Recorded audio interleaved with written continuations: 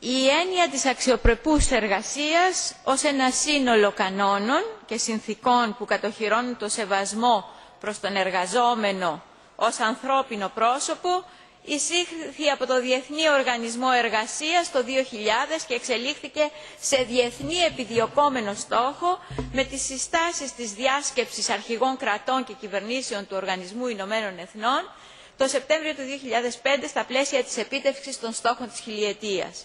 Το Τμήμα Υπουργικών Εργασιών Υψηλού Επιπέδου του Οικονομικού και Κοινωνικού Συμβουλίου του Οργανισμού Ηνωμένων Εθνών τον Ιούλιο του 2006 υπογράμμισε στη δήλωσή του την ανάγκη να δοθεί προτεραιότητα στις προσπάθειες επίτευξης παραγωγικής πλήρους απασχόλησης και αξιοπρεπούς εργασίας για όλους. Η έννοια αποδιδόμενη με το λατινικής καταγωγής επίθετο decent, decent, έχει τη σημασία της παραχώρησης της συγκατάβασης. Σας παρακαλώ να επιταχύνετε, να πάτε πιο γρήγορα λίγο. Στη συγκατάβαση ώστε να υπάρχει ευπρέπεια. Η ελληνική λέξη αξιοπρέπεια τονίζει την ανάγκη να παραχωρηθεί αξία το γερμανικό όμως επίθετο Menschenswürdig θα έλεγα ότι αποδίδει πλήρως το στόχο του παγκόσμιου εγχειρήματος καθώς συνδυάζει την αξιοπρέπεια με την ανθρώπινη υπόσταση.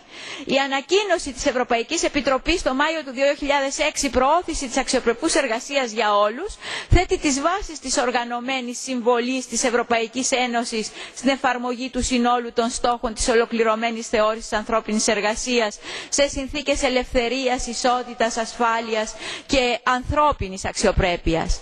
Οι τέσσερις βασικοί πυλώνες της έννοιας αξιοπρεπούς εργασίας είναι ως γνωστό δημιουργία θέσεων εργασίας για παραγωγική ε, δουλειά με ελεύθερη επιλογή, εγγύηση των εργασιακών δικαιωμάτων, εκτεταμένη κοινωνική προστασία και εξασφάλιση συνθήκων υγείας και ασφάλειας, προώθηση του κοινωνικού διαλόγου και της ειρηνικής επίλυσης των διαφορών με οριζόντια τη διάσταση του σεβασμού της ισότητας ανδρών και γυναικών πέντε συμβάσεις της ε, Διεθνούς Οργάνωσης Εργασίας κατοχυρώνουν τα στοιχειώδη εργασιακά δικαιώματα.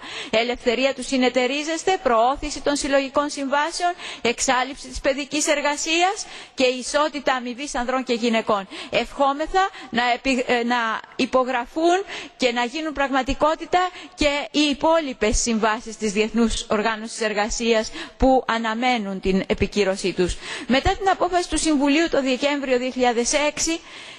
η επιτροπή απασχόλησης του ευρωκοινοβουλίου με την έκθεσή της επικροτεί τους στόχους ευρωπαϊκής επιτροπής. στόχος πρέπει να είναι η επίτευξη κοινωνικής και οικονομικής προόδου και η εξασφάλιση της δίκαιης κατανομής της προς όφελος όλων.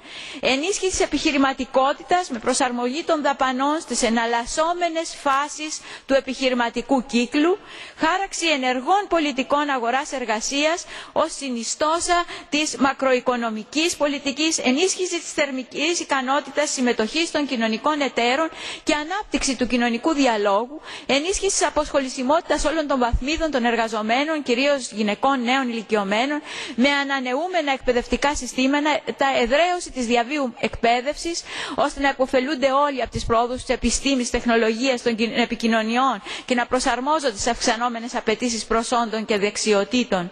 σίγουρα δεν υπάρχει ένα και μοναδικό πρότυπο κοινωνικών πολιτικών και ρυθμίσεων αγοράς εργασίας. η ευρωπαϊκή ευρωπαϊκή ένωση είναι υπερήφανη γιατί εκτός από την ευρεία προσπάθεια των κρατών μελών για κύρωση των διεθνών συμβάσεων της ε, ΔΟΕ είναι η οικονομική δύναμη που παρουσιάζει σε όλο το μήκος και το πλάτος της κοινά χαρακτηριστικά κοινωνικής ευαισθησίας. Το ευρωπαϊκό κοινωνικό μοντέλο με επιδίωξη παραγωγικότητας και οικονομικών επιδόσεων για ωφέλεια του συνόλου, κοινωνικές παροχές ψηλού επίπεδου, εξασφάλιση των συνθήκων υγείας και ασφάλειας, φροντίδα για την κατάρτιση, εκπαίδευση και επανεκπαίδευση όλων των ηλικιών και των κατηγοριών εργαζομένων και κοινωνικό διάλογο με διασφάλιση ίσων ευκαιριών για όλους.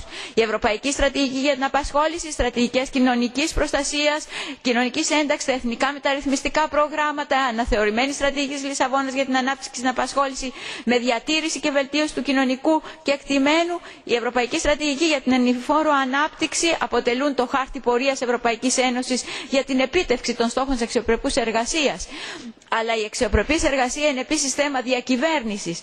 η εφαρμογή αποτελεσματικών πολιτικών εστιασμένων στην αξιοπρεπή εργασία απαιτεί θεσμικά όργανα που λογοδοτούν πολιτική δέσμευση υπέρ της υγιούς διαχείρισης του κράτους και δραστήρια και οργανωμένη κοινωνία των πολιτών. για την ευρωπαϊκή ένωση ελπίζω θα βρεθεί ο δρόμος για το συνδυασμό της ευελιξίας της αγοράς και της εγγύησης της ασφάλειας των εργαζομένων. η οικονομική παγκοσμιοποίηση όμως η παγκοσμιοποίηση των αγορών των τεχνολογιών της πληροφορίας και της εργασίας είναι φαινόμενο που προβλέπεται να επιταχυνθεί με ενίσχυση οικονομικής πολικότητας. η κίνα αναδεικνύεται στις πρώτες θέσεις η ινδία άλλες δυνάμεις. παράλληλα διαπιστώνεται το άνοιγμα του χάσματος μεταξύ πλουσίων και φτωχών ακόμα και σε αναπτυγμένες και βιομηχανικές χώρες.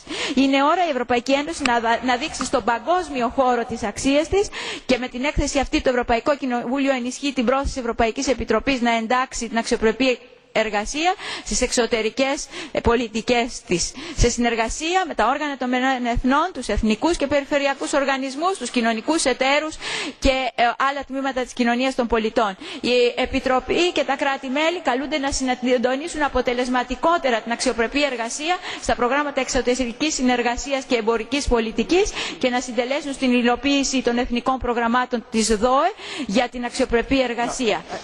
ευχαριστώ όλους όσους συντέλεσαν τι τις τρεις επιτροπές που γνωμοδότησαν και όσους συντέλεσαν στην παρουσίαση αυτής της έκθεσης. Ευχαριστώ.